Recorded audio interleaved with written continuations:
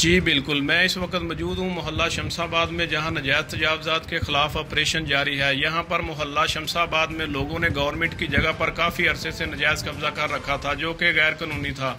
बड़ी heavy machinery से काफ़ी इमारतें गिराने का काम तेज़ी से जारी है और घरेलू घरों का अभी कोई फैसला नहीं हो सका। कमर्शल इमारतें गिराने के लिए पुलिस की बारी नफरी तैनात की गई।